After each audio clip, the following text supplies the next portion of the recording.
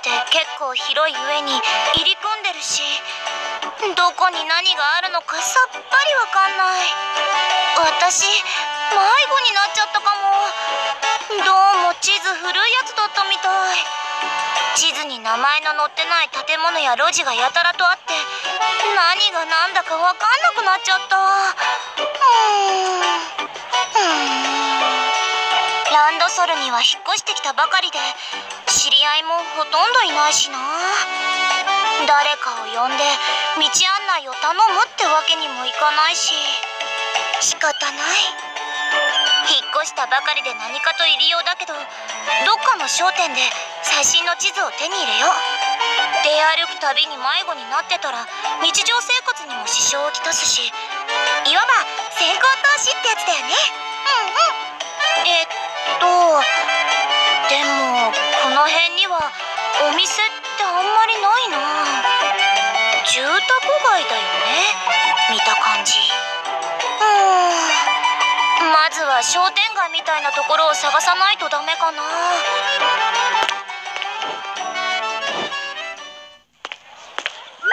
お？案内板みたいなの発見あれを見れば自分の現在地がつかめるかも。うーんと地図っぽいものは貼られてないか。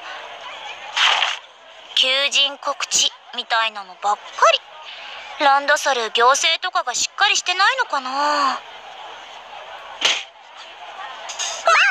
ごめんなさい。ぶつかっちゃった。あれ？あれれ？あなたもしかして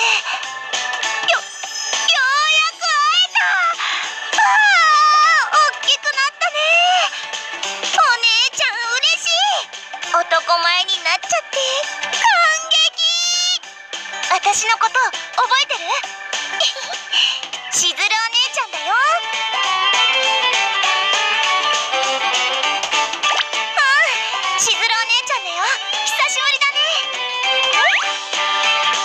してきょとんとするの？もしかして私のことを忘れちゃった？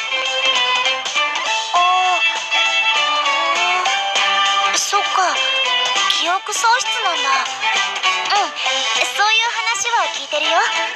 昔のこととか全部忘れちゃってるんだよね。そっかやっぱり実際に目にするとショックだな。ん。君のこと知ってるのかってもちろん。お姉ちゃん。だもん。君のこと誰よりも詳しく知ってるよ食べ物の好き嫌いから後におねしょをした年齢まで。うんうん。いろいろ教えてあげる。お姉ちゃんに任せなさい。抜け駆け禁止ってりのちゃんには言われてるけど。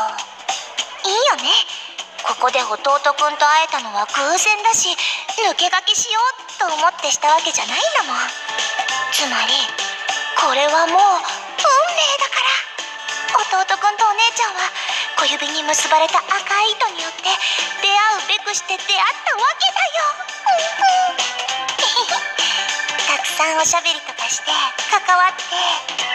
弟くんにお姉ちゃんのことを思い出してもらっちゃおう。でもその前にえっとここどこだかわかる？恥ずかしながら。お姉ちゃんは迷子になっちゃってるの。す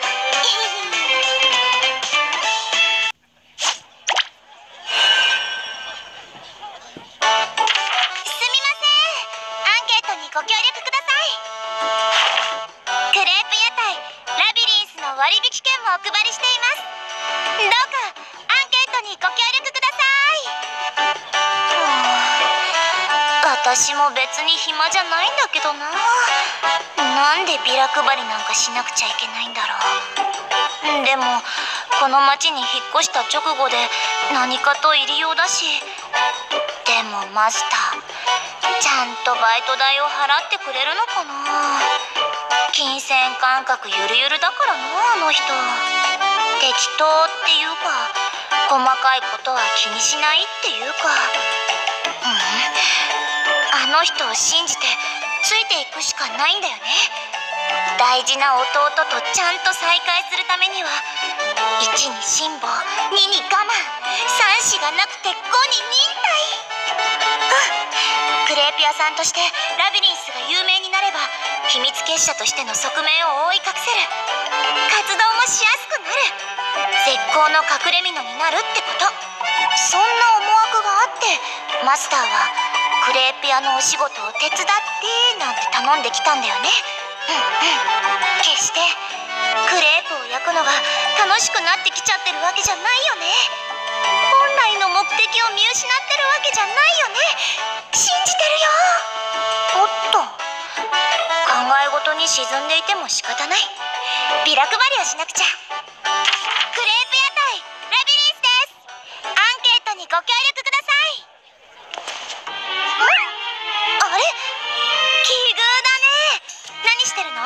散歩お姉ちゃんはねアルバイト。うん。私がバイトしてるクレープ屋さん。ちょっと偏僻な場所にあるからね。お店のそばをお客さんが通りかからないんだよ。だから分かりやすい地図を記載したビラを配ってるんだ。ついでにどんなクレープが好きなのかとかのアンケートを取ってるの。地道な営業活動。君にもビラあげるね。ったら小腹が空いた時とかにお店に来てほしいな。あと今時間あるならアンケートに回答してくれる？いいの？わーいありがとう。君はやっぱりいい子。うんうん。困ってる人を見過ごせないんだね。優しい子に育ってくれてお姉ちゃん嬉しい。じゃあいくつか質問するから気負わずに適当に回答してね。よく行く飲食店とかある？どのぐらいの頻度で完食をする？好きな食べ物は何？全部の質問に律儀に答えてくれてる。やっぱりいい子だな。抱きしめちゃいたい。でもダメ。抜け駆け禁止。この機会にもっと仲良くなりたいけど。今は余計な刺激を与えちゃダメってマスターにも言われてるし残念だけど我慢しなくちゃ。でもアンケートにカッコつけて質問するぐらいは OK だよね。弟くんについてもっと詳しく知りたいもん。離れてた時期が長かったし今の弟くんは私の知ってる可愛い弟とはかけ離れちゃってる。別人になっちゃったとは思いたくないけどでも少しでも溝を埋めたい。お姉ちゃんだから弟のことは何でも知っておきたい。弟くんについて調べることはラビリンスの活動方針とも合致するはずだし。うんそんな感じの理論武装でいこう。うんとねじゃあ次の質問をするね。君はどんな女の子が好み？わ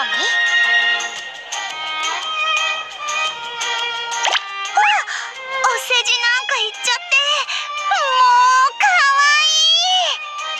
それが君の本音だったら幸せだけど私に気を使って言ってくれただけならちょっと寂しいな。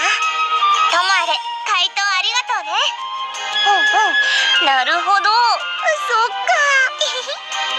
とりあえず突拍子もない質問をしても真面目に答えてくれるところとかは私の知ってる君のままなんだって知ることができてよかったよ。じゃあ次の質問をするからね。君のこともっとお姉ちゃんに教えて。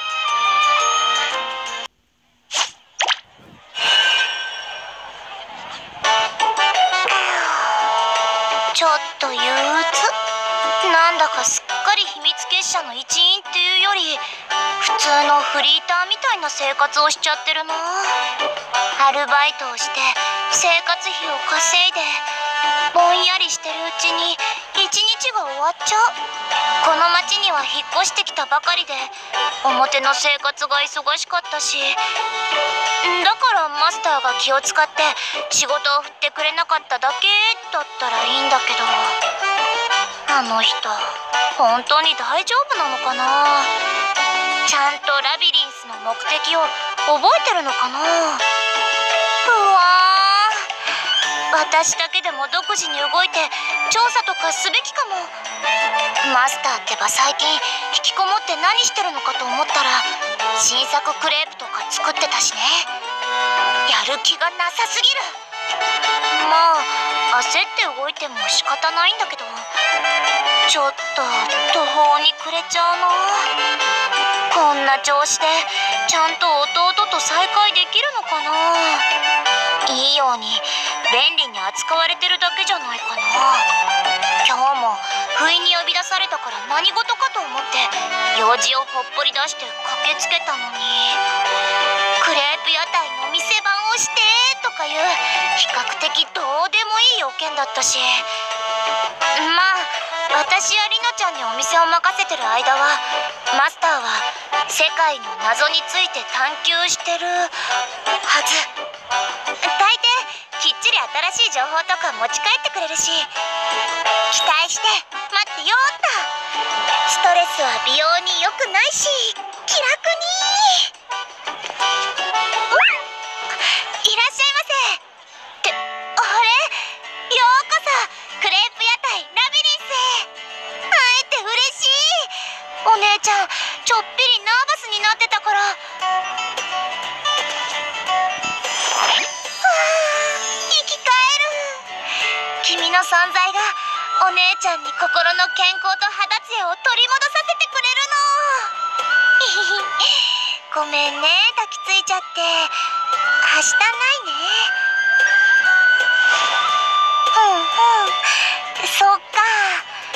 こないだこのクレープ屋台のビラを渡したもんね。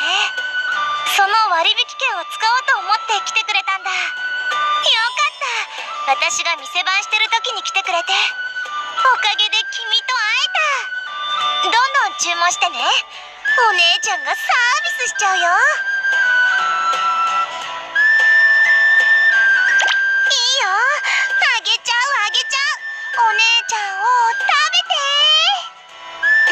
てね。お姉ちゃんは売り物じゃありません。クレープを注文してくれると嬉しいな全然お客さんが来なくて材料が余ってるから。それにわざわざ注文しなくてもお姉ちゃんは最初から君のものだからね。はいどうぞ。手早く焼いたよ。お姉ちゃん特製の激甘クレープ。美味しそうに何かを食べる仕草や表情は昔と同じ。うん。今の君は覚えてないだろうけどお姉ちゃんはずっと君のお姉ちゃんなんだ。よくわかんない。妄想みたいに聞こえるかもしれないけどおかしな女の人だなって君は怖くなって二度とってくれなくなるかもしれないけど言わせてね。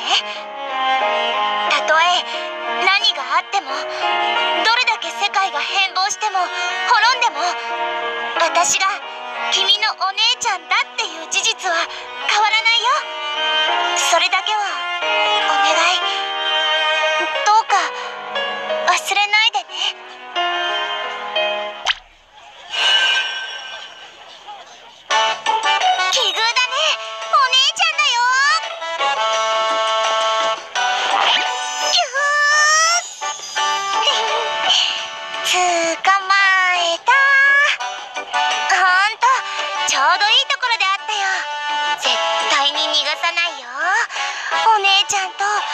生一緒にいようね久しぶりの弟くんの感触。弟くんの匂いはーい生き返った。ありがとうねお姉ちゃんちょっと新生活を始めたばっかりでくたびれていたの。う今頃大忙しなんだよ。こっちに引っ越してきたばかりでまだ落ち着かないし。いろんな資格取るために勉強してるし。一応ギルドのお仕事もあるしね。ほんと。老けちゃいそうなぐらい疲れてたんだ。何も言わずに弟くん成分を補給させてくれてありがとう。以前の君だったら照れたり嫌がったりしたのに。何の抵抗もされないのは逆に私に興味ないのかなみたいに思っちゃう複雑なお姉ちゃん心でした。ともあれこんなところで何してるの？お買い物かな？おおこまごまとした生活用品とか買い足しに来たんだね。じゃあお姉ちゃんが安いお店とか紹介してあげるよ。値引き交渉とかもするよ。世話を焼かせてね。それだけがお姉ちゃんの生きがいだから。ちょなんかピカピカ光ってるよ。どうしたの？あなんだろうこれ。聞いてないよ。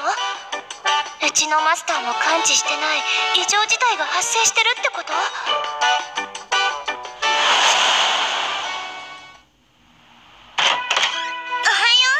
う。気持ちのいい朝だね。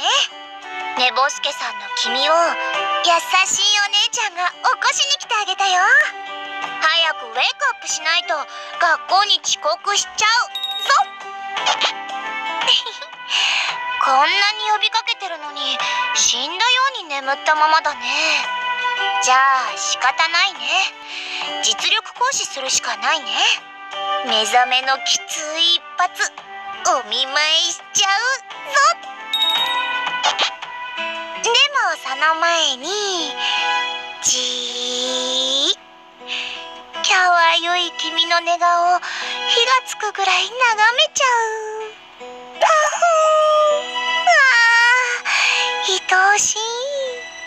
このまま安らかに眠らせてあげたいよ。甘やかしてあげたいよ。でもダメ。心を鬼にして起こすよ。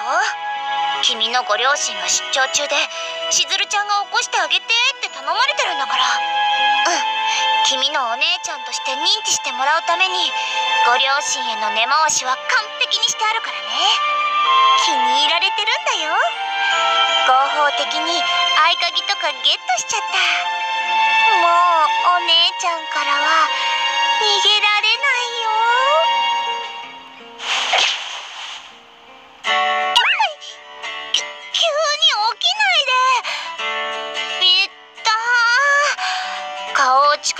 たから起き上がった君とごっつんこしちゃった。あ鼻血が。お姉ちゃんに頭突きを食らわせるとは君も成長したね。すでにお姉ちゃんを乗り越えた。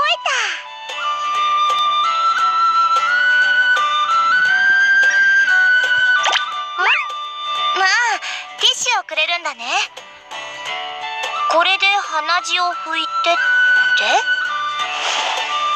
がとう。君はいい子だよ。私が起こしに来ることはご両親から聞いてたんだよね。よかった。その辺伝わってなかったら完全に不法侵入者だからね私。気持ち悪がられて嫌われちゃうところだったよ。君に嫌われたらお姉ちゃんもう夢も希望もなくなるよ。ってお着替えしてね。お手伝いは必要ないよね。君はもう高校生だもんね。成長しちゃったよね。ちょっと寂しいな。まあいいか。その調子ですくすく育ってほしいな。お姉ちゃんは朝ごはんの支度をしてくるから着替えとか終わったらダイニングに来てね。ありがとうって？いいんだよ。お礼なんて。でも嬉しいよ。すっごく。どういたしまして。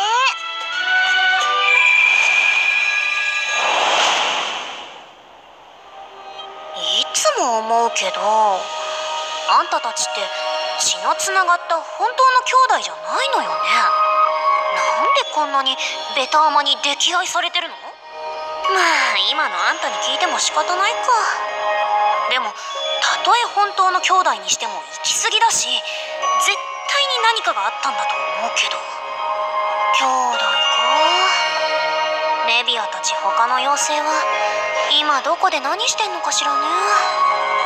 私と違って完全に再構築の際に無償しちゃったのかしら。おっとごめん。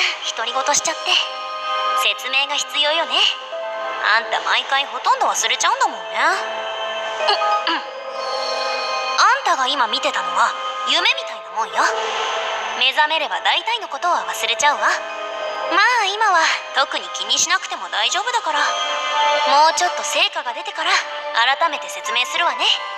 でもたとえ夢だとしてもあんたの中に残るものは確実にあるから。そのためにこうして手間暇かけて夢を見せてるんだしね。大事なことは忘れずにちゃんと強く意識して覚えておく努力をしなさいね。今回はとりあえず目覚めたらお姉ちゃんに優しくしてあげて。こんなに海外しくお世話されてるんだもん。恩返しをしなきゃダメでしょ？う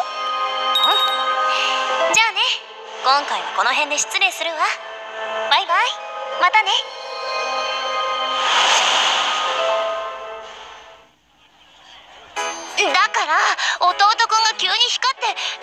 なんか寝ちゃったんだってば。どういうことなのマスター。ちゃんと説明して。大丈夫なの？へ変な病気とかじゃないよね。はあ？フィオの干渉？フィオって何なの？知らない単語だけど。あ起きたんだね。えっとえー、っと。ごめんマスター。一旦通信魔法を切断するね。後でそっちに行くからちゃんと説明してね。それじゃあね。バイバイ。ああもうえっと大丈夫？気分が悪かったりしない？急に様子がおかしくなったから心配したよ。え？あうん。一緒にお買い物しようみたいな話をしてたね。でも今はそれどころじゃないっていうか。もお姉ちゃんの好きなものを買ってくれるの？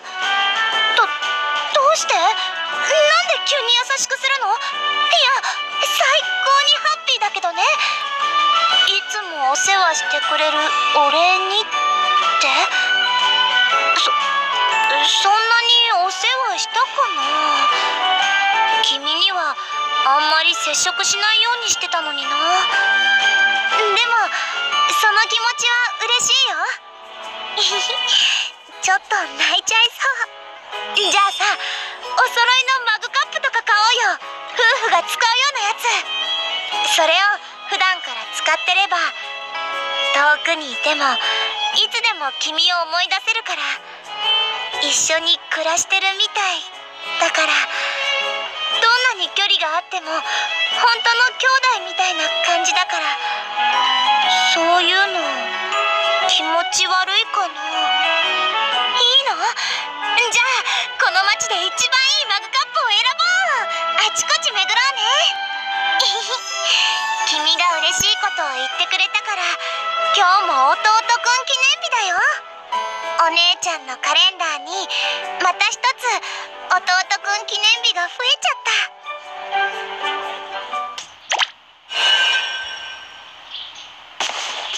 た。うん。なかなか具合のいい物件が見つからないな。っていうかランドソル根本的に物価が高い。王国の首都だしね。仕方ないけど。土地代も王宮の周辺は目玉が飛び出るお値段だし。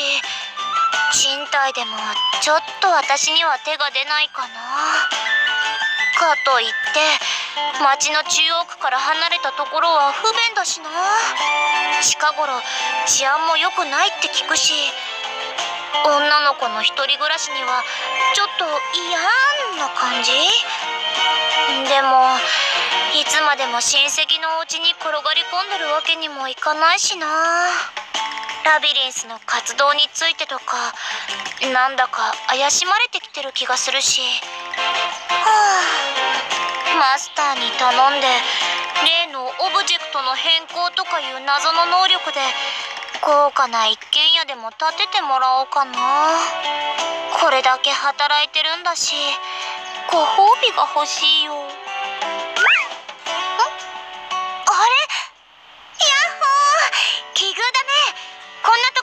してるの？さてはお姉ちゃんの気配を感じ取ってふらふらと引き寄せられちゃったんだね。私と君は運命の赤い糸で結ばれてるんだね。知ってた？安心して。お姉ちゃんも君のことを宇宙で一番愛してるよ。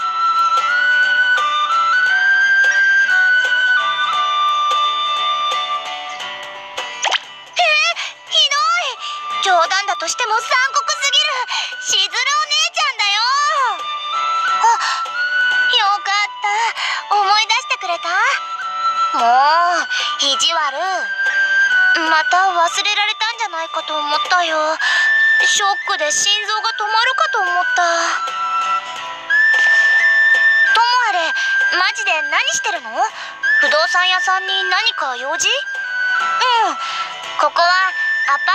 を斡旋紹介してくれるお店だよ。不動産を管理してるギルドが運営しててね。住まいを探す時はここに来るんだって。私これまでは親戚のお家に厄介になってたんだけどね。仕事が片付くまでっていう名目で居候してたんだけどどうもその仕事が長引きそうでね。あんまり親戚に迷惑かけたくないしアパートでも借りて一人暮らししようかなって思ってるんだ。でもなかなかいい感じの物件が見つからなくてね。君はどの辺で暮らしてるの？実家？私君の近所で暮らそうかな。それで毎日押しかけてお世話とかしてあげるの。ほいホテルを渡り歩いて暮らしてるの？なんかお金がかかりそうだね。ああそっか。君はそうだろうね。大変だね。住処が定まらないと不安だよね。ふん安い物件でも見つけてそこで暮らしてもいいかなと思って。この不動産屋さんに来たんだね。うんうん。いいことを聞いちゃった。じゃあさお姉ちゃんとルームシェアしない？家賃とか折半してさ寝食を共にするの。毎日私が君を起こして愛情たっぷりの手料理を振る舞うよ。兄弟だもん同居ぐらい普通だよね。わー夢みたいだな。ねえねえいいでしょ？2人でお部屋選びをしようよ新婚さんみたいに。ほらこの物件とか良くない？一人だと広すぎるけど二人だったら程よい感じ。小さいけど庭もあるしそこで家庭菜園を作ってさ。この部屋にベッドを置こうね。寂しい夜は一緒に寝よう。この小さな部屋は物置にしといて私と君の愛の結晶が生まれたら子供部屋にするのあれ？どうしたの？無視しないで。お姉ちゃんとのバラ色の未来を一緒に空想しようよ。えコッコロちゃん。が呼んでるから行かなくちゃって誰？それ。お姉ちゃんの知らない子だよね。紹介してくれるうん。もちろん私は理解あるお姉ちゃんだから君の交友関係にまで口出しはしないよ。一応お姉ちゃんとして挨拶ぐらいしておきたいし。え？そのコッコロちゃんってこと一緒にホテル暮らしをしてるの？どういうこと？説明して。そのコッコロちゃんって多分女の子だよね。そんな若い男女が一つ屋根の下でいやらしい。ダメだよ。お姉ちゃんは君をそんな不道徳な子に育てた覚えはありません。あどこ行くの？待って。まだ話は終わってないよ。ごめんね。ごめんね。うざかった。だけどお姉ちゃんは君のことが心配なんだよ。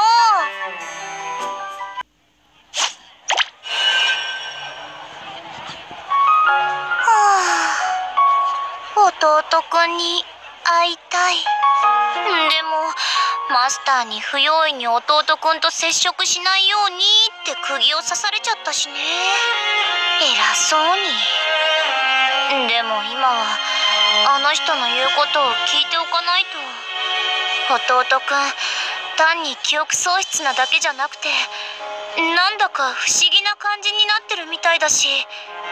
余計な刺激を与えたら何があるかわかんないし弟くんと元通りの仲良し兄弟になるためには今は我慢しなくちゃ。耐え難きを耐えて弟くん立ちをしないと。あーでもダメ。禁断症状。道行く人が全部弟くんに見える。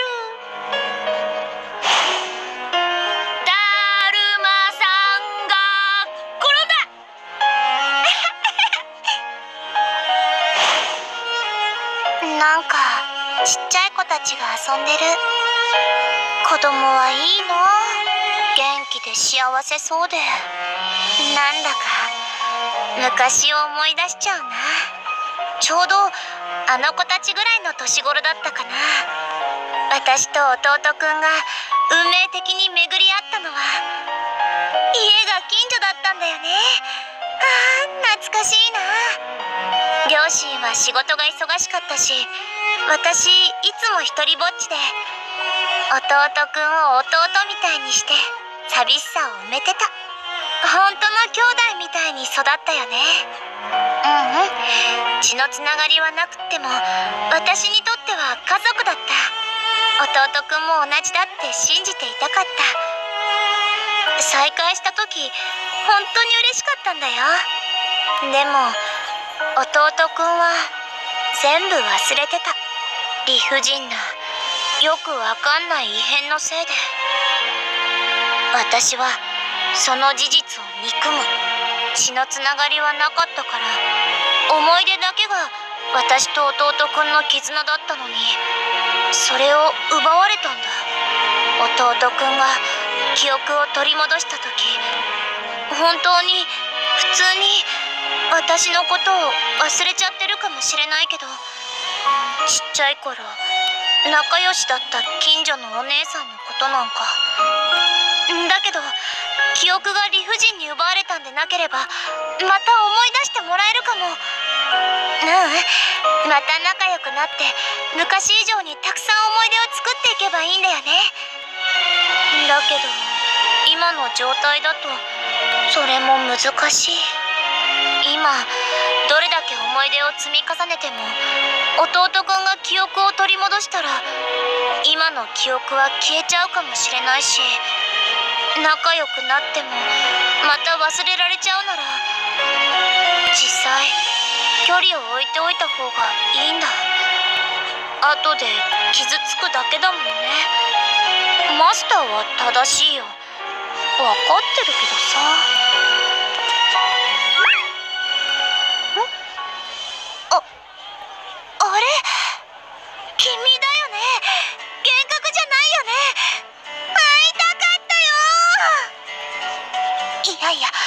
っちゃいけないんだ。距離を取らないと。だけど会えて嬉しい。いいもん。後で傷ついても今最高に幸せだから。ずっと会えなくて寂しかったよ。あお兄ちゃん動いた。何してるの？その綺麗な人んの彼女ヒューヒュー。えっとその子たちと知り合い？っていうかもしかしてその子たちと一緒に遊んでるの？そうだよ。この人お仕事してないのか昼間からふらふら暇そうにしてたんだ。だから私たちが遊びに誘ってあげたの。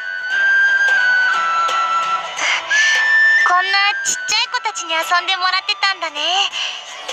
記憶喪失だもんね。子供の遊びも新鮮で楽しいんだろうね。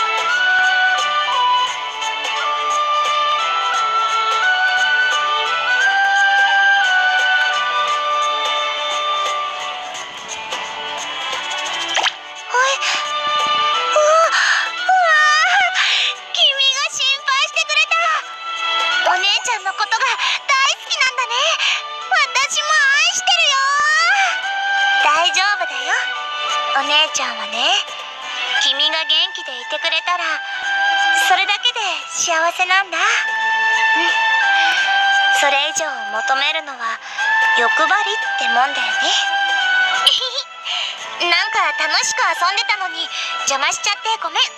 お姉ちゃんちょっと用事があるから行くね。弟くんと接触しちゃダメって言われてるしね。寂しいけど我慢我慢な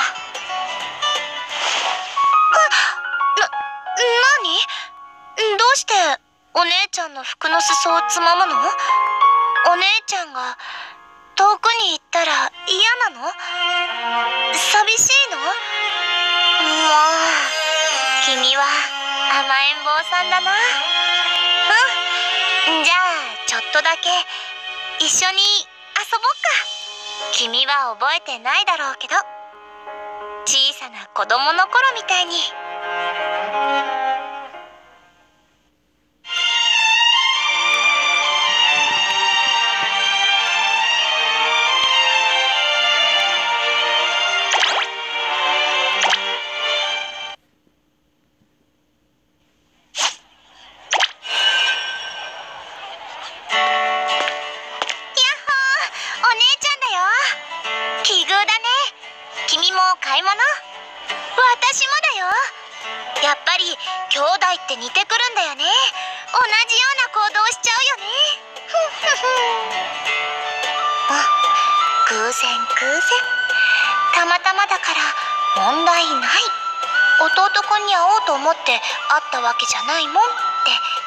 ができるよね。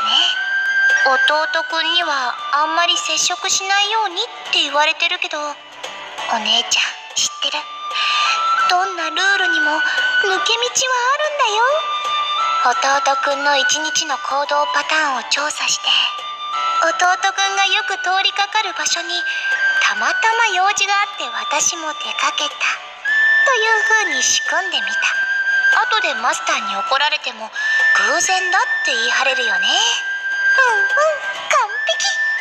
会えるかどうかは半々だったけど私は賭けに勝利した。もちろん同行した接触はしない。ちょっと顔を見て少しだけ立ち話する程度で我慢するよ。ほんと弟くんをうかつに刺激したら何があるかわかんないし。りのちゃんだって弟くんに会わないように辛抱してるんだもんね。お姉ちゃんだけ抜け駆けするのはちょっと申し訳ないから。あごめん。考え事してた。お姉ちゃんにだっていろいろ悩みはあるんだよ。君はまだ子供だからわからないかな。そういう大人の機微みたいなのは。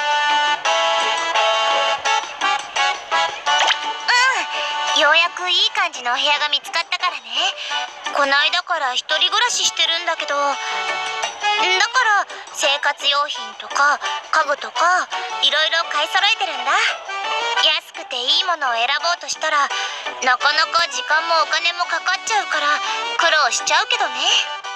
いいなって思ったものはびっくりするほどお値段がするし。だけど一つ一つ大事にしたいなって思えるお気に入りのものが部屋に増えていくのって何て言うかな。幸せな感じだよ。君は何をお買い物してたの？一人で大丈夫お姉ちゃん付き添ってアドバイスとかしてあげようか？ふふん。お姉ちゃん近頃この辺で買い物ばっかりしてるからお店とか詳しいんだよ。あちこち案内してあげよっか。昔みたいに。ちっちゃい頃はいつも私が君の手を引いてあちこち連れて行ってあげたよね。まあ覚えてないだろうけど。君は男の子だしあんまりお買い物とかは好きじゃなかったみたいだけど。いつでも文句も言わずについてきてくれたよね。嬉しかったよ。とっても。の頃君と一緒に買った安っぽいおもちゃの指輪とかさ。今でも私大事に持ってるんだ。一人暮らしを始めてもどうしても手放せなくってね。ごごめん。なぜか涙が出てきちゃった。風で目にゴミが入っちゃったみたい。大丈夫だから心配しないで。お姉ちゃんは強いんだよ。泣き虫の君をいつでも守ってあげる立場だしね。おおどうして抱きついてくるの？甘えん坊さん。自分でもよくわからないの？お姉ちゃんはお姉ちゃんだから大丈夫だけどあんまり女の子に気軽に抱きついちゃダメだ。そう。おった危ない。頭突きしそうになった。癖なんだよね。すぐ手が出ちゃうんだ。それで親にあんまり人を叩いたり蹴ったりしちゃダメって叱られてさ。じゃあ頭突きにするって。叩いても蹴ってもいないもんってね。小賢しい子供だったよね我ながら。何もかもわきまえてる。賢いお姉ちゃんのふりしてさ。もっとなりふり構わず一生懸命。かっこつけずに泣きじゃくってでも。自分の欲しいものをゲットしちゃえばよかったのに。バッカみたい。私。ごめん。独り言。じゃあね。お姉ちゃん今日は調子悪いみたいだからお家帰るね。転ばないようにね。あと迷子にならないように気をつけてね。心配しすぎ。子供扱いしないでって。生意気。かわいい。でもねお姉ちゃんは弟の心配をして面倒を見るのが生きがいだから。何か困ったことがあったらいつでも呼んでね。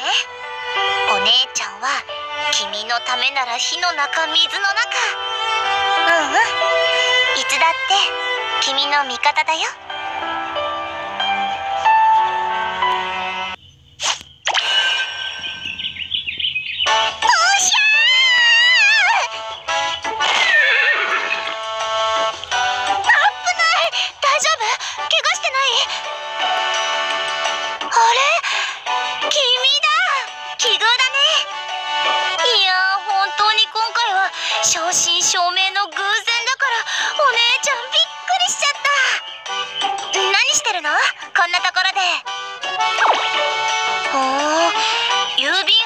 配達のバイト？それでたまにこの牧場とランドソルを行き来してるんだ。いろんなバイトをしてるんだね。働きすぎで倒れちゃわないか。心配だよ。まあ家でゴロゴロ寝転がって暇を持て余すよりは有意義だろうけど。お姉ちゃんはね見ての通りこの牧場で乗馬の練習をヒヤッとしたよ。うん私はギルドの仕事の関係で全国の津々浦々を飛び回ったりするからさ。馬に乗れると便利かなと思って練習中なんだ。遠方だと徒歩で移動するのもなかなか大変だしね。うちは少人数で行動することが多いから馬車を丸ごとよりも馬を1頭だけ借りた方が安上がりでしょ。よかったら帰り道お姉ちゃんが馬で送ってあげようか。牧場と契約してね。馬を1ヶ月だけレンタルしたから乗って帰れるんだ。お姉ちゃん割と何でもすぐに上達する方だから山道でも安心だよ。遠慮せずに乗って乗って。ワンおいで。しっかりお姉ちゃんに捕まってね。振り落とされたら怪我しちゃうから。ほらほら。もっと強く抱きしめて。じゃあ行っちゃうよ。出発進行。また何か光ってるよ。眩しいちょっと馬が謎の輝きに驚いて暴れてる。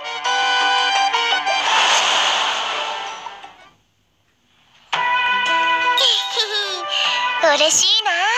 兄弟で仲良くお買い物せっかく朝早くにお姉ちゃんが起こしに行ったのに。ちゃんと自分で起きてたのは残念だったけど。チェーお姉ちゃんが起こしてあげたかったのにな。君はもう一人前の男の子に成長しちゃったんだね。嬉しいけど寂しいな。もうお姉ちゃんなんかいなくても君は立派に生きていけるんだね。私は用済みだね。いらないお姉ちゃんだね。え？そんなことない？私必要？そうだよね。もう正直者ずっと一緒にいようね。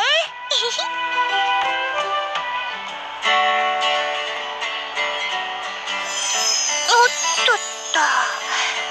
お店の中で騒いじゃダメだよね。荷物ちょっとはお姉ちゃんが持とうか？私テンション上がって買いすぎちゃったから重いでしょ？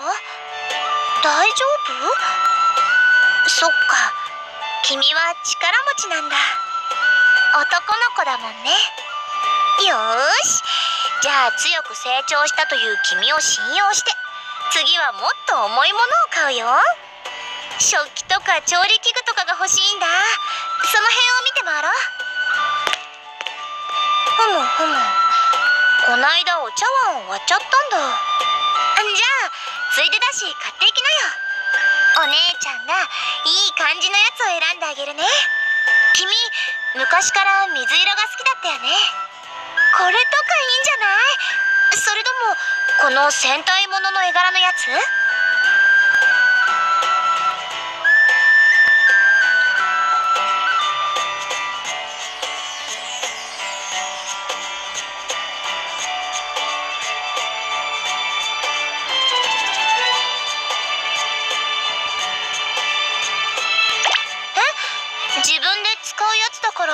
自分で選びたいの？生意気？君ったら優柔不断なくせに。昔から何でもお姉ちゃんが選んであげたのになねえねえ周りに新婚さんっぽいカップルがちらほらいるね。愛の食器選びだね。私たちも夫婦に見えたりするのかな。君もそのうち奥さんとこういうところにお買い物に来たりするんだろうね。お揃いの夫婦茶碗を選んじゃったりして。大丈夫。君なら絶対にいい人と巡り会えるよ。なんてったってお姉ちゃんの自慢の弟だもん。あ。ついこの間まであんなにちっちゃかったのに。いつかは巣立っていっちゃうんだね。想像しただけでジーンとしちゃう。そうしたらもう今みたいにしょっちゅう会えなくなっちゃうんだろうね。仕方ないことだけどやっぱりちょっと寂しいなでも大丈夫だよ。安心して。寂しがる必要なんてないの。どれだけ遠く離れてもお姉ちゃんの愛は永遠に不滅だからね。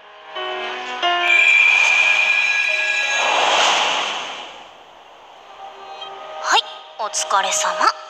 いつも思うけどあんたたちって仲良しよね。それこそ血のつながった兄弟でも思春期になればそんなにベタベタしなくなるのに。結構常軌を逸してる気がするわ。しずるちゃんはあくまでお姉ちゃんっていう立場を崩さないけど本当にそれだけなのかしらね。なんか他の気持ちも含まれてる気がするな本人も多分自覚してはいないんだろうけど。あんたはどうなの？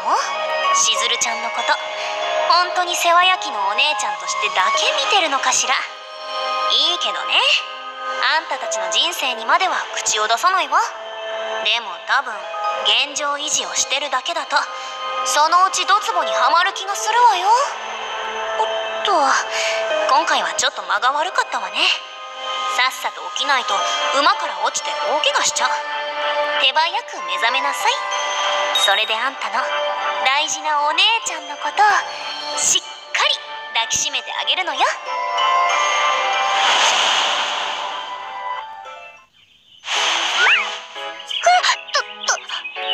起きた？よかった。もう急にガクンって脱力するだそんなに速度は出してないから落ちても軽傷で済むだろうけど馬に踏まれたりしたら下手すれば死んじゃうからね。気をつけてね。心配だな。あれなら落馬しないようにお姉ちゃんと君を縄で縛り付けちゃう？それってなんだかとっても幸せな状態な気がするよ。そんなに強く抱きしめちゃダメだよ。ちょっと痛いよ。どうしたの？急に。甘えん坊さん。ああ馬から落ちないようにしっかり抱きついてきたんだよね。うん他に考えられないよね。と突然ギュッてされたから驚いちゃったよ。力が強くなったんだね。うん大きくなったんだ。君は記憶喪失でいろいろ忘れちゃってるけどそれでも君は君なんだなって思うよ。昔もよくこうやって2人で帰ったよね。遊び疲れた君を私がおんぶしてさ。今じゃもう君を背負うのは大変だけどお姉ちゃんに任せてね。いつだって抱きついて寄りかかって甘えてくれていいんだよ。それが私の生きがいで幸せだから。大好きだよ。大事な大事な。私の可愛い弟くん。